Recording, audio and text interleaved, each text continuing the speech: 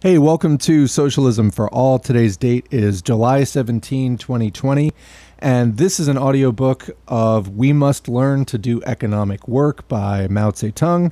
The original date of this essay is January 10, 1945, or rather, speech, not essay, though I suppose that he probably wrote it out in advance.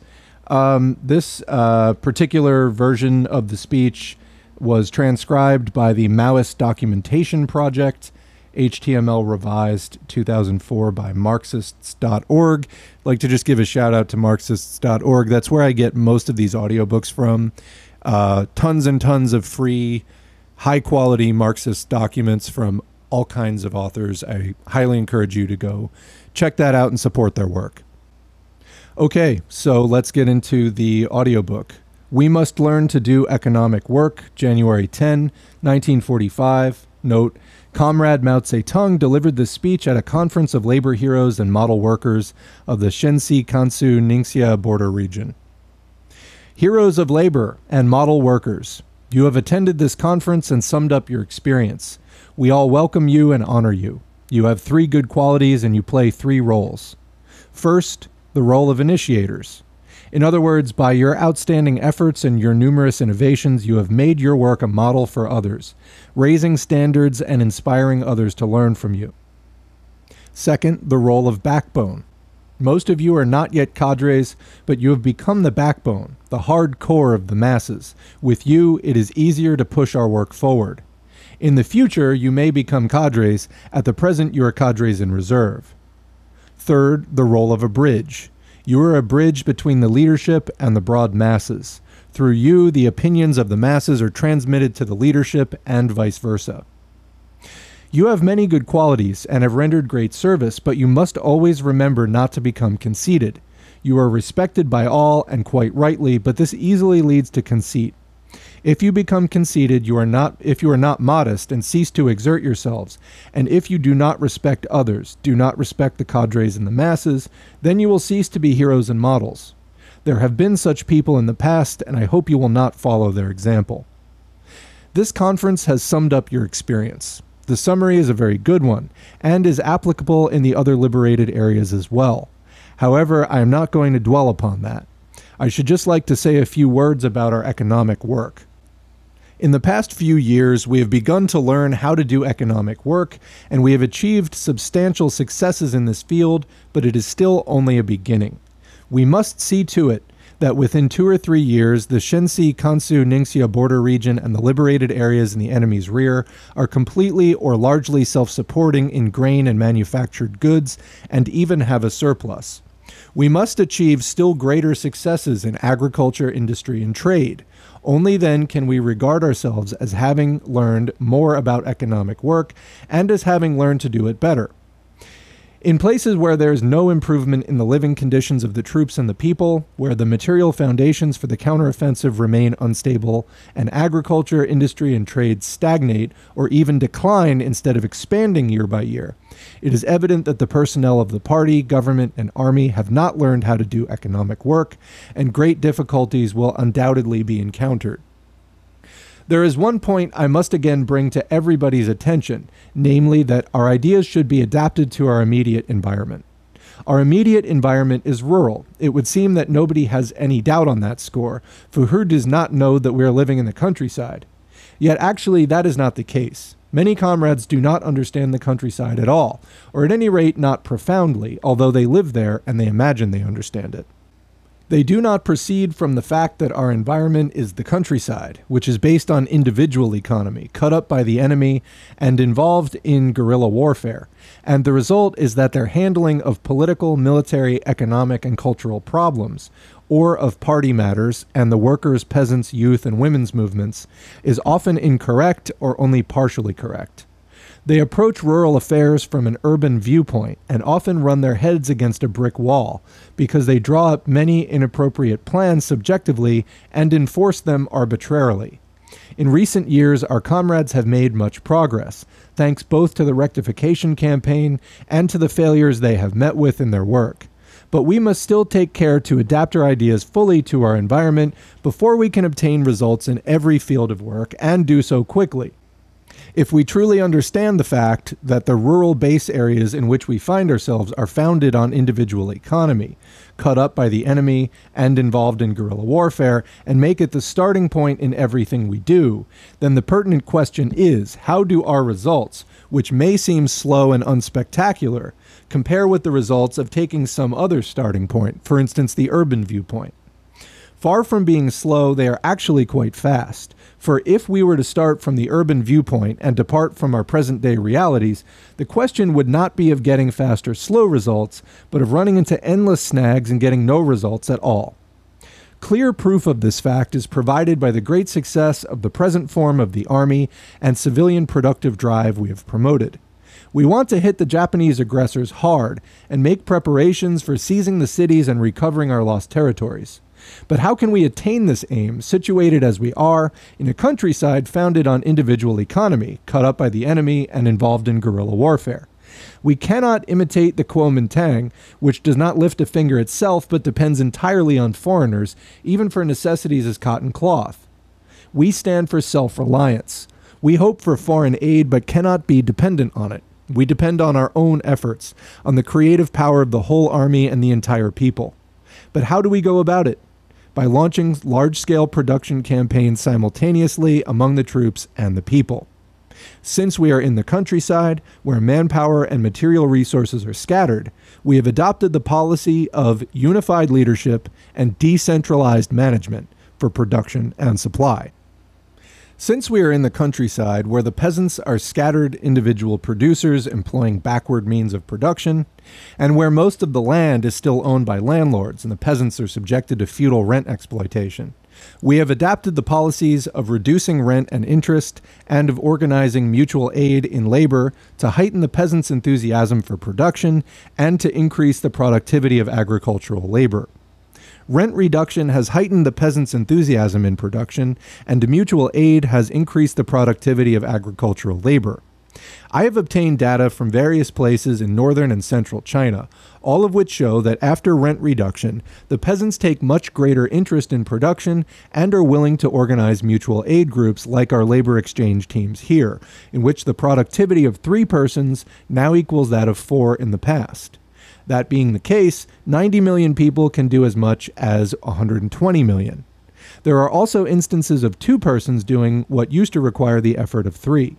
If instead of coercion and commandism, which are self defeating because of their quest for quick results, we adopt a policy of patiently persuading people by setting them good examples, then it will be possible for the majority of the peasants to be organized into mutual aid groups for agricultural and handicraft production in the next few years. Once such production groups become the usual practice, not only will output increase and all kinds of innovations emerge, but there will also be political progress, a higher educational level, progress in hygiene, a remolding of loafers, and a change in social customs, and it will not take long before the implements of production will be improved too. With all this happening, our rural society will gradually be built, rebuilt on new foundations. If our cadres carefully study this sphere of work and most energetically help the rural people develop campaigns for production, there will be a plentiful supply of grain and other necessities in the countryside within a few years, and we shall be able not only to keep up the war and cope with crop failures, but also to maintain a large reserve of grain and other necessities for future use. We should organize the army units and the government and other organizations as well as the peasants for production. Since we are in the countryside, which is constantly ravaged by the enemy and involved in protracted war, it is imperative for the army units and the government and other organizations to engage in production. And it is possible for them to do so because the guerrilla fighting is scattered over a wide area. Besides, the troops and government personnel in our Shensi, Kansu, Ningxia border region are very numerous in proportion to the total population, and they will go hungry if they themselves do not engage in production. While on the other hand, the people will go hungry if too much is taken from them and the burden is too heavy for them to bear. These are the reasons why we are resolved to launch a large scale production campaign. Take the Shensi Kansu Ningxia border region, for instance. The annual requirements of the army units and the government and other organizations equal 260,000 ton, here one ton equals 300 chin, of husked grain, millet. of which they get 160,000 from the people and produce the rest themselves if they did not engage in production themselves. Either they or the people would go hungry. Thanks to our production campaigns, we are free from hunger, and in fact, the troops and the people are quite well fed. With the exception of grain, clothing, and bedding, government and other organizations in the border region are self supporting in most their needs, and some units are entirely self supporting. Many units are partially self supporting, even in grain, clothing, and bedding. The achievements of the Army units of the border region are even greater. Many are entirely self supporting in grain, clothing, bedding, and every other essential. That is, they are 100% self supporting and draw nothing from the government. This is the highest standard, the top grade, and it has been attained gradually over a period of several years. This standard cannot be adopted at the front, where fighting has to be done. There, a second and a third standard may be set up. The second standard requires that, except for grain, clothing, and bedding, which are supplied by the government, self sufficiency through production should be achieved in the following items cooking oil, salt, vegetables, and meat, the purchase of fuel, office supplies, and miscellaneous items, subsidies for education and health, expenditures for the cleaning of weapons and for the provision of tobacco, shoes, socks, gloves, towels, toothbrushes, etc. These items amounting in all to some 50% of the total expenditure. This standard can be gradually attained in two or three years. In some places, it has already been attained. This standard may be adapted in the stable base areas. The third standard applies to outlying districts and to the guerrilla zones where 50% self sufficiency is not possible, but 15 to 25% may be. Reaching this standard is good enough there. In short, apart from those in exceptional circumstances, all Army units and government and other organizations must engage in production in the intervals between fighting, training, or work. In addition to using such intervals for collective production, they should organize some of their personnel specifically for production, assigning them to run farms, vegetable gardens, pastures, workshops, small factories, transport teams, and cooperatives, or to grow grain and vegetables in partnership with the peasants. In our present circumstances, every organization or army unit should establish its own domestic economy to tide over the difficulties. Unwillingness to do so is a characteristic of loafers and is disgraceful. To stimulate production, we should also institute a system of individual bonuses, graded accordingly to the quality of the work for all who participate in it directly. Further, as the effective way of pushing the work forward, the head of each organization must assume responsibility and personally take part, and must apply the method of linking the leading group with the masses and the general call with particular and specific guidance.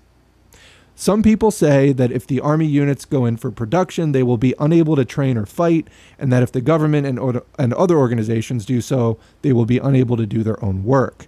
This is a false argument. In recent years, our Army units in the border region have undertaken production on a big scale to provide themselves with ample food and clothing, and have simultaneously done their training and conducted their political studies and literacy and other courses much more successfully than before. And there is greater unity than ever within the Army and between the Army and the people. While there was a large scale production campaign at the front last year, great successes were gained in the fighting, and in addition, an extensive tra- training campaign was started. And thanks to production, the personnel of the government and other organizations live a better life and work with greater devotion and efficiency. This is the case both in the border region and at the front. Thus, it can be seen that, in the context of guerrilla warfare in rural areas, those Army units and government and other organizations which undertake production for self support show greater energy and activity in their fighting, training, and work, and improve, improve their discipline and their unity both internally and with the civilians. Production for self support is the outcome of our country's protracted guerrilla war, and this is our glory. Once we master it, no material difficulty can daunt us. We shall grow in vigor and energy year by year and become stronger with every battle. We shall overwhelm the enemy and have no fear of his overwhelming us. Here, another point must be called to the attention of our comrades at the front. Some of our recently established areas are fairly rich in material resources, and, counting on this, the cadres there are unwilling either to economize or to engage in production. This is very bad, and they are bound to suffer for it later. Wherever we happen to be, we must treasure our manpower and material resources and must not take a short view and indulge in wastefulness and, extravagance. Wherever we are, from the very first year of our work, we must bear in mind the many years to come, the protracted war that must be maintained, the counteroffensive, and the work of reconstruction after the enemy's expulsion.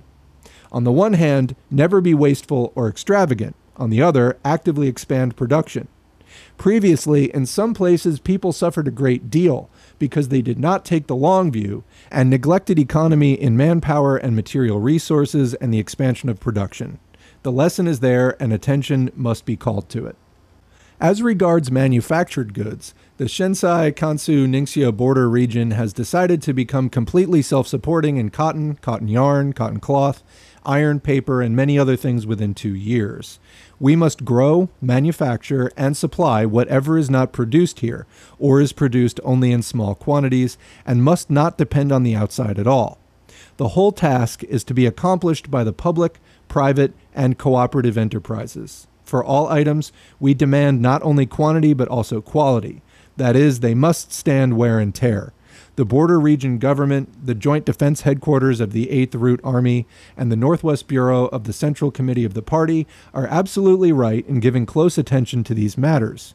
I hope that the same thing will be done in all places at the front.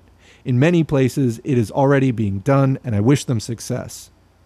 In our border region and the other liberated areas, it will take another two or three years for us to learn every branch of economic work.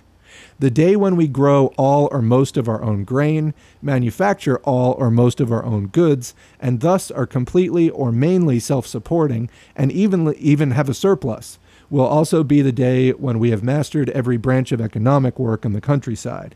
After we have cleared the cities of the enemy, we shall be able to take up new branches of economic work. We must exert ourselves and learn because China depends on us for her reconstruction.